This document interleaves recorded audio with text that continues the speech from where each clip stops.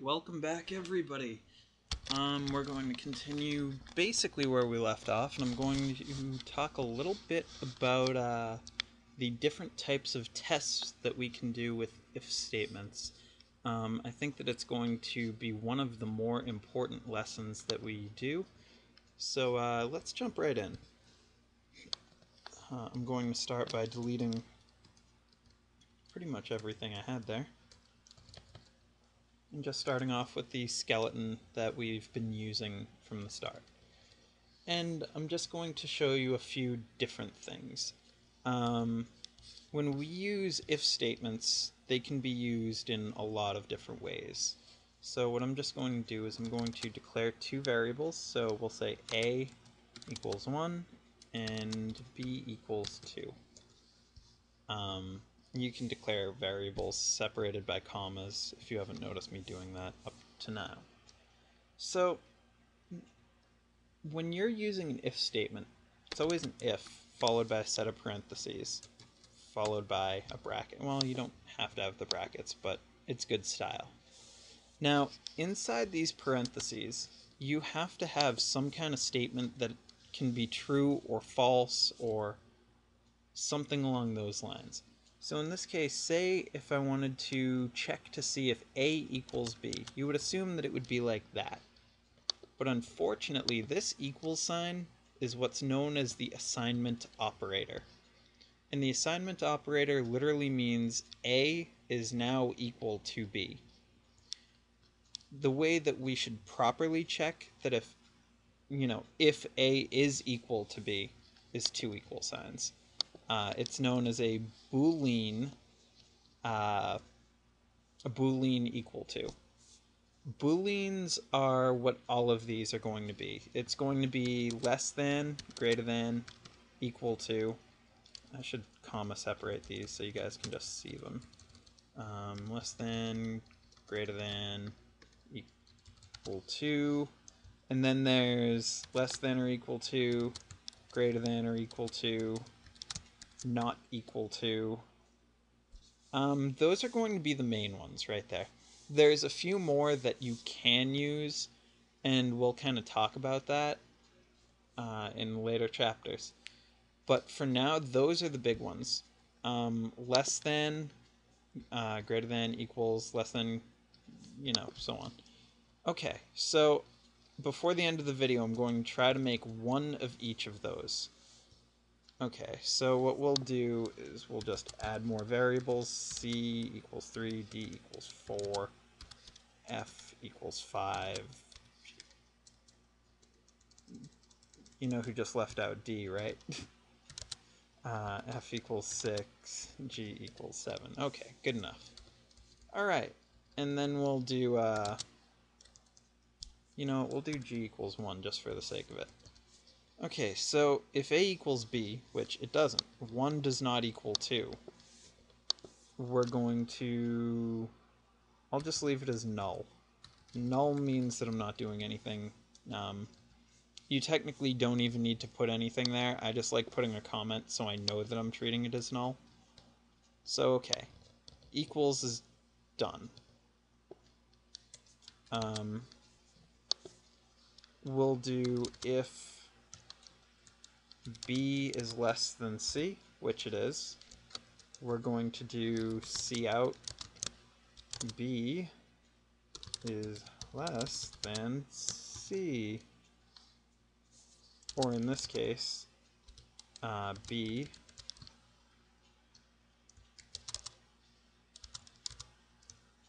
less than c. Now, just a quick note, this endl is the same thing as a backslash n in the uh, episodes leading up to this. It's the same idea, it's the same number of characters you're using, so I just tossed that in there. Okay, um,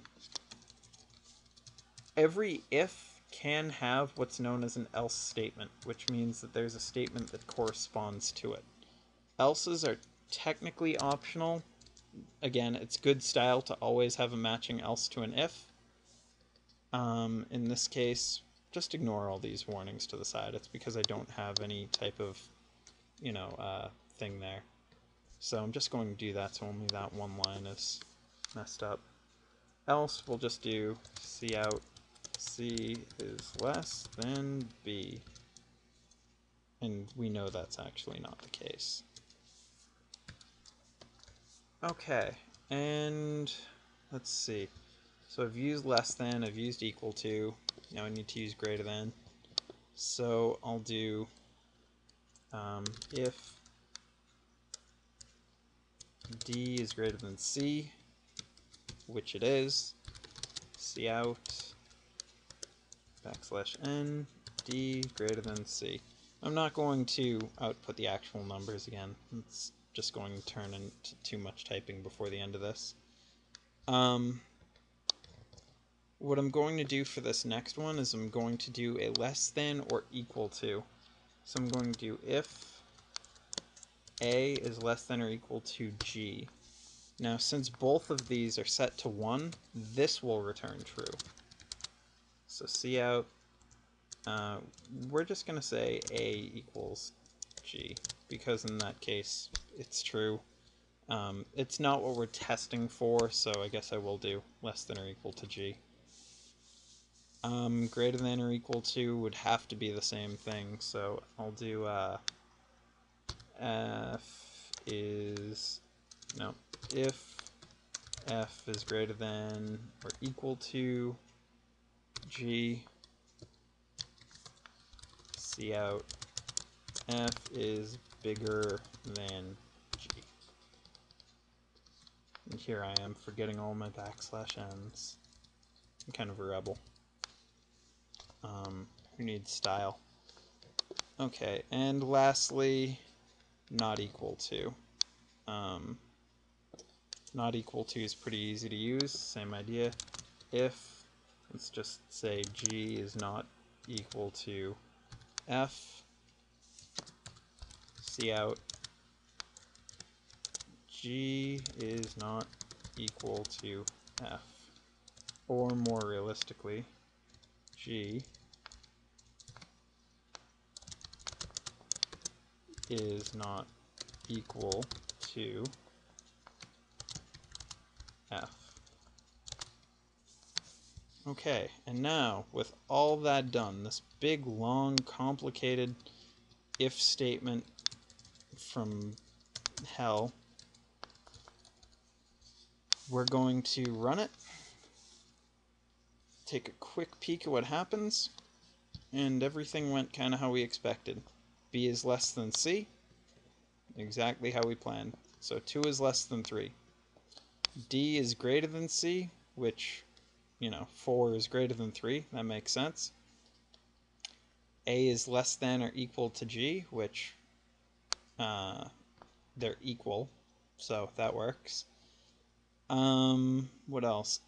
f is bigger than g. Um, and in this case, of course, we can see 6 is greater than 1, or greater than slash equal to 1.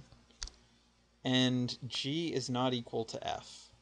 Um, I should have had a backslash n here. As you can see, it showed up on the same line.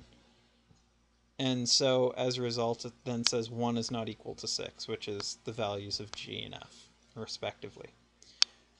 Um, so hopefully that just kind of shows you what each one is actually testing. Um, there are more complicated things you can do. Um, you can use, let me check our time real quick. Um, we're at about nine minutes now, so I have a few more minutes. Okay. Now, if we were to, I'm going to show you a quick example of what's known as a nested if. Um, every if statement has two sides that you can go to, an if or an else. Now you don't always have to specify an else. It's good style to, but you don't have to. Now let's assume that we have something that's like, um, we're going to change this. And this is just going to be a real quick example. Um, sales equals zero, and then we're going to see out enter sales and apparently I'm having issues. There we go. Okay, cin sales. Alright, now what we're going to do is we're going to make a large nested if. Uh, or well, as large as time will really allow for. And we're going to do if sales is greater than 500, um, see out, let's just say, good job. Okay. And then what we're going to say is, hmm, actually, you know what? Let's do less than 500. And we're going to say needs improvement.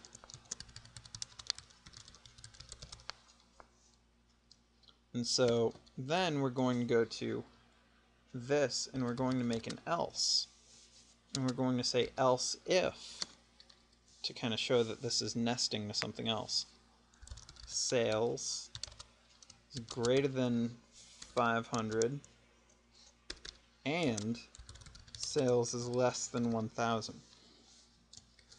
This is the AND operator. That means that these two conditions both have to be true. That's very important to keep in mind. Okay. So, um, we're going to say see out. Good work. Again, very simple. Then we're going to do another else if. We're going to say sales is greater than 1000 and sales is let's say less than 2500 we're going to say see out Great work. And we're going to do one more, which is just going to be an else, which means that this person has sold more than 2,500 because that's the only condition we're not testing for. We're going to say see out. Amazing work. Keep it up. So, okay. Oh, and I forgot a semicolon here. So let's uh, ignore that. Now you'll notice I'm not putting uh, backslash n's on these, which I suppose I should because we're accepting the cin. We're going to need to do it on a different line. Otherwise, you wouldn't need a, a backslash n on these because they are not only one of these should print. So okay, let's try this. We're going to run this twice. Okay, so enter sales 400 needs improvement. Damn, I'm not good at this. Um, let's try 1221. And great work. So that's what that is.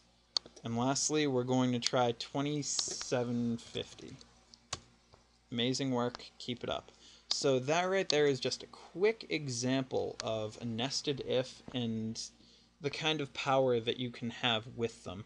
Hopefully this video has helped you better understand what you can do with uh, ifs and nested if statements, and hopefully, if nothing else, we can uh, start to progress into somewhat more difficult programs based on, you know, this little bit of knowledge that we've gleaned from this video. If you need any help whatsoever, please let me know in the comments below or send me a message. Um, feel free to subscribe, comment, Anything else? Have a good night.